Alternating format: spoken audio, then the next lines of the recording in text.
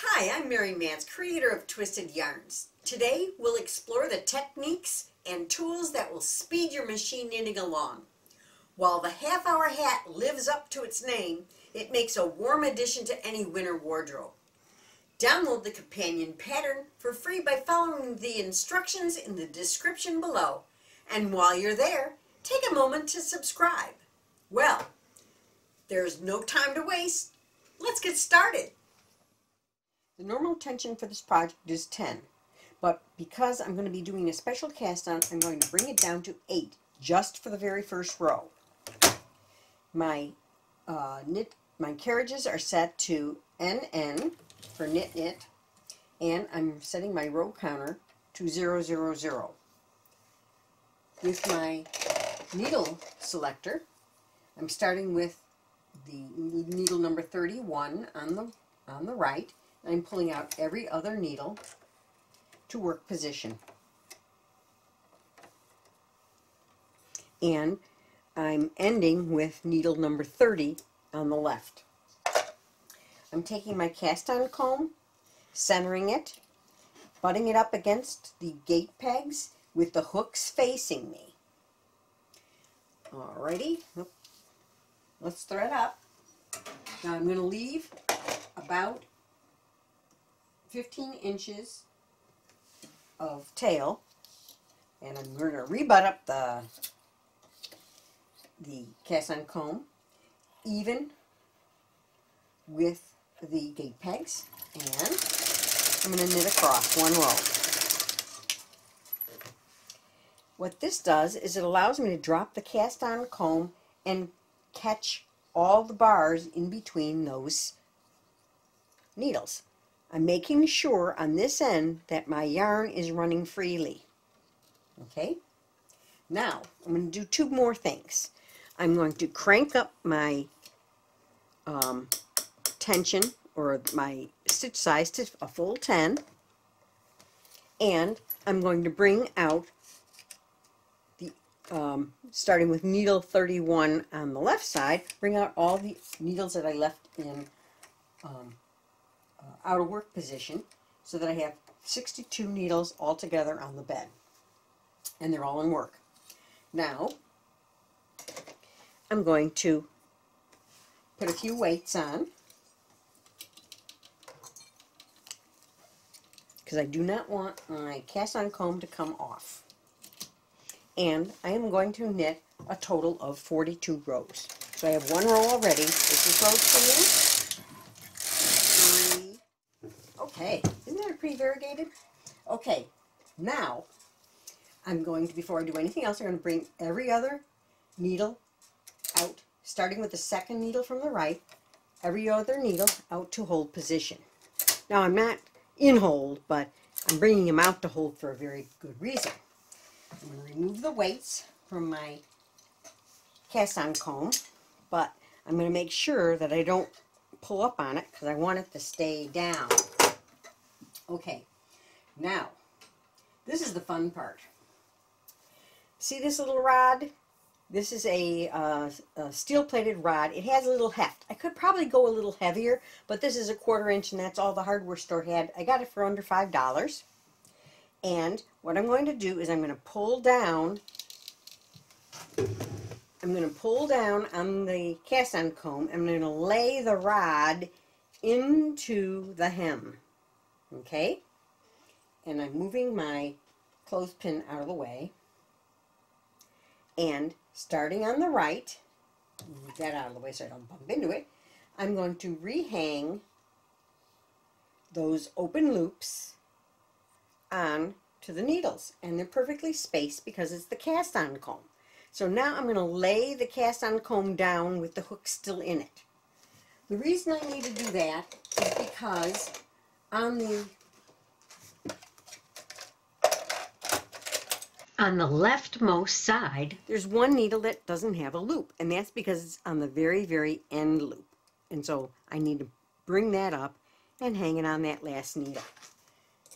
Now, I can just unhook my cast on comb and set it aside because I don't need it anymore for this project.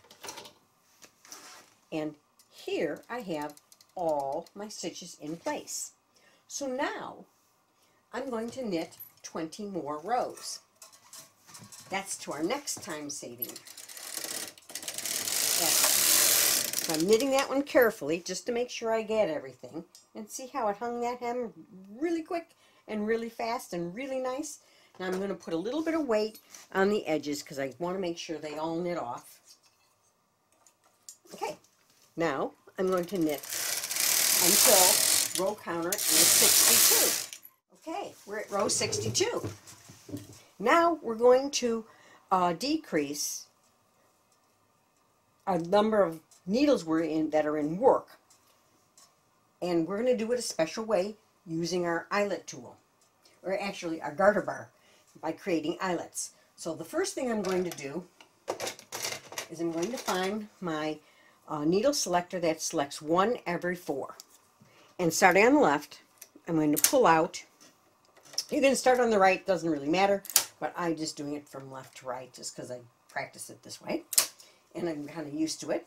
So I pulled out every needle, uh, every fourth needle to hold position. Now, then I'm going to take my other needle selector and push them back, my needle pusher and I'm going to push them back to upper work position. What that just did was put the stitch behind the latch. Now I'm going to bring up all the needles that were in work before into upper work position. What that does is it pushes, uh, it leaves the stitches in the hooks. Now, this is where the fun begins. I'm going to move my carriage as far to the right as I can because I now am taking um, my uh, stopper plate for my uh, Chris Crafter uh, garter bar and I'm bringing all the needles on this half up into hold position and I'm dropping the plate down to lock those needles in place. Then I'm taking my other half because I have so many needles in work. And I wanted to do it on a hat or something so that you could see how this works. It works all the way across the board. And I'm going to pull the other half up and drop the plate in place. Now, I've had to use my small connector on, to connect my uh, two pieces. And now I'm going to take the back side of it, the flat side of it, and I am going to push the needles back or the, the knitting back just enough to get those needles to open up their latches. Now the ones that are left that are not open are the ones where we have the stitch behind the latch. So then I take my little card and slide down there and open them up. Now the reason I push that back just enough is because otherwise, if I don't push it back just enough, you'll find that this is what I found out, is that with the stitches behind the latches, it keeps trying to close the hooks, the latches on the hook. And so I need them all open. So I have to push it back enough to even it out and keep all the latches open while I do this part. And that is, I'm going to put my um, garter bar onto the hooks. And then I'm going to pull my knitting. Now, the only the stitches that were behind the latches actually will actually slip on to the garter bar. Can you see every fourth stitch?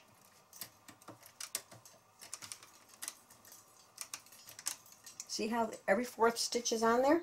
Okay, once I've done that, I'm going to push back toward the bed with the garter bar.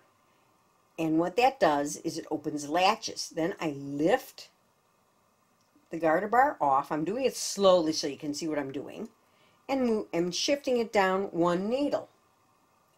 And then I'm going to simply flatten it out so it's flush or even with the needle bed and just push all the knitting back on to the bed.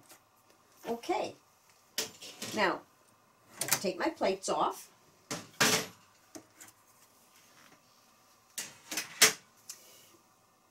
And I'm taking my needle selector because I still haven't decreased yet. Okay, all I did was move all these stitches over one needle. Now every one that had been moved is empty. So I'm just going to take those out of work.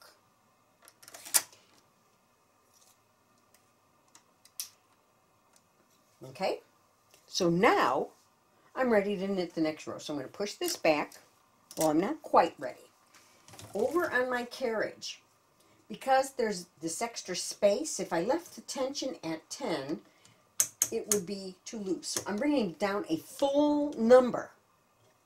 And now I'm going to proceed to knit four more rows.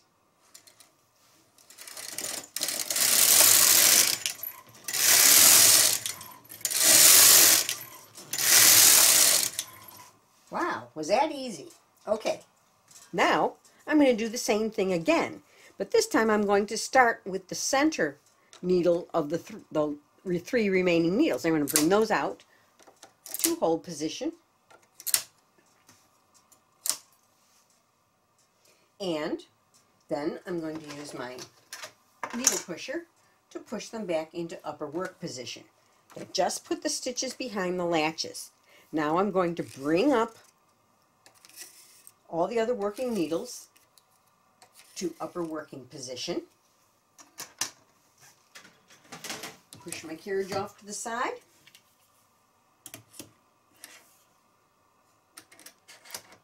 Pull these all out and drop the stopper plate in place.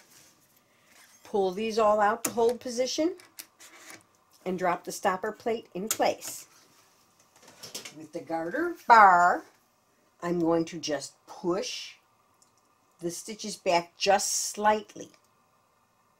Just slightly to get all the latches more or less open except for the ones that are behind the um,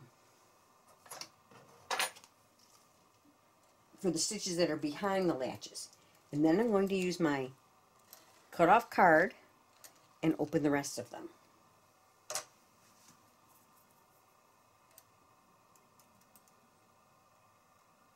I'm going to then put my hook in place and I can feel that there isn't anything obstructing it. So I know I can pull all these safely to the garter bar. And once again, only the ones that were behind the latches actually have a stitch that'll go to the garter bar. The rest will be are in the hooks. Once I've done that, push it open to open all the latches, lift up, move it over one, and then even it out, put it, put the garter bar in place, and then push them all back on. Now this one kind of hung up, so let's see what happened there. Okay, I obviously didn't get that a clean break on that one. So I'm going to pick that up with my eyelet tool because these things happen. I'm going to put it on the appropriate needle. Okay, I checked my work. It looks good other than that little rascal that got away from me. Take my stop plates off, push my knitting back. Once again, with the every fourth needle selector, I'm going to align it with those ones that are empty and push those back out of work. And that would include the end one. So it worked out perfectly. Great. Okay, now back to the carriage. I'm going to bring it down another full uh, stitch size and knit four more rows.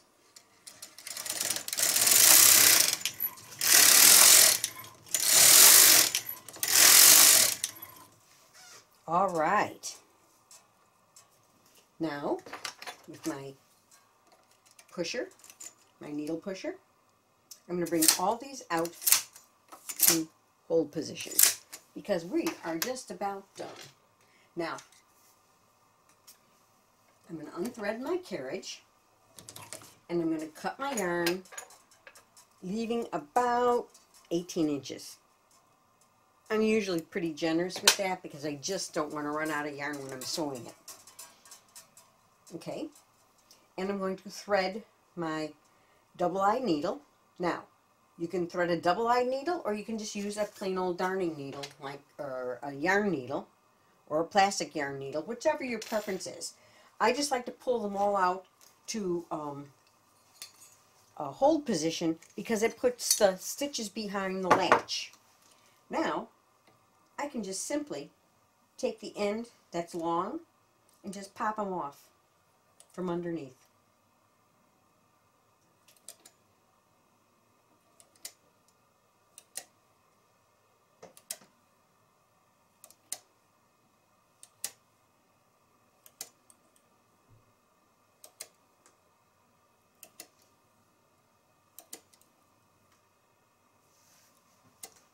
Once you get about halfway, you can thread them on.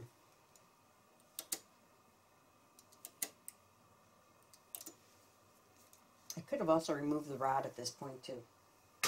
That might be con convenient. And I'm just going to pull down on the rest of these. And as I go, just pop them off. And see, I'm working under the needles. That way I'm not in danger of catching myself on the hooks.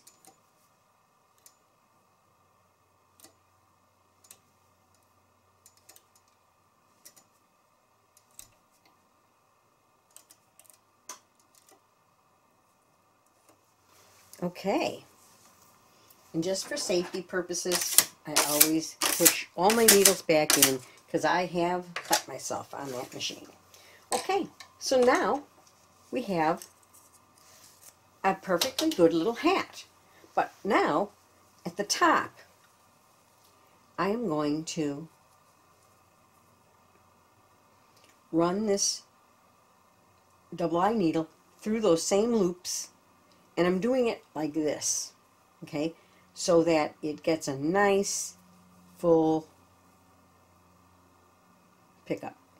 And by doing it at least twice, our first one's on there already. This is the second one. And I'm going to keep pulling until I get my loose end. Oops. Hmm, I guess that's it.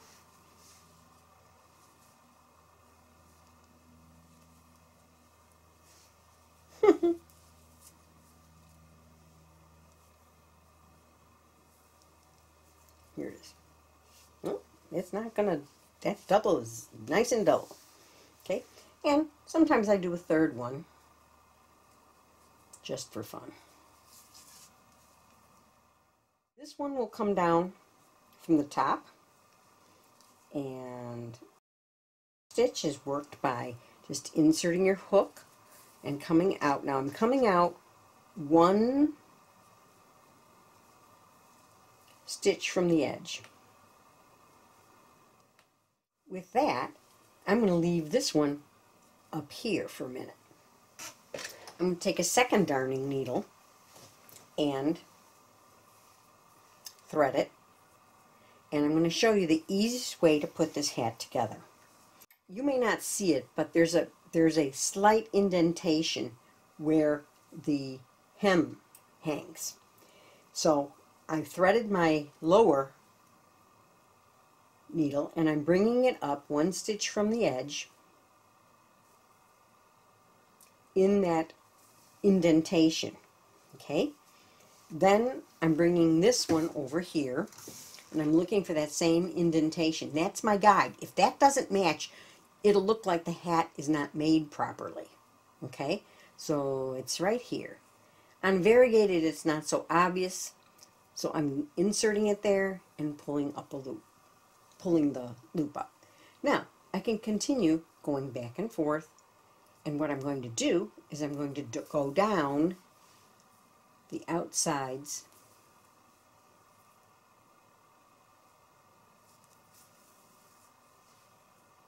See how I cross over? And go in exactly where I came out of and then go under two bars. And once I get about an inch or so, I'm going to put my finger on it and give it a little tug just to tighten it up, but not to bunch it up. You don't want to bunch it up because it's hard to get it loose again. Once you reach the bottom edge, continue seaming the inside of the hem. Lastly, work from the top or bottom to complete the seam. Isn't that an adorable little hat? Wow! We made it in 28 minutes flat. Just be aware the pom-pom will take 15 minutes more, but it is well worth it. And that's another video. I hope you enjoyed the time-saving tips and techniques buried in this video. Please take a moment to subscribe and ring the bell for notifications of upcoming videos. Happy machine knitting!